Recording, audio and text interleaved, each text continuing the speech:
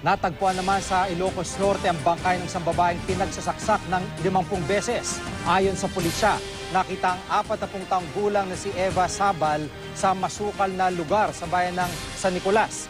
Hininalang itinapon lang doon ang bangkay. Nawawala ang bag at cellphone ng biktima pero hindi pa masabi kung pagnanakaw motibo sa krimen. Sa dami kasi ng saksak ng biktima, posible raw na may iba pang motibo.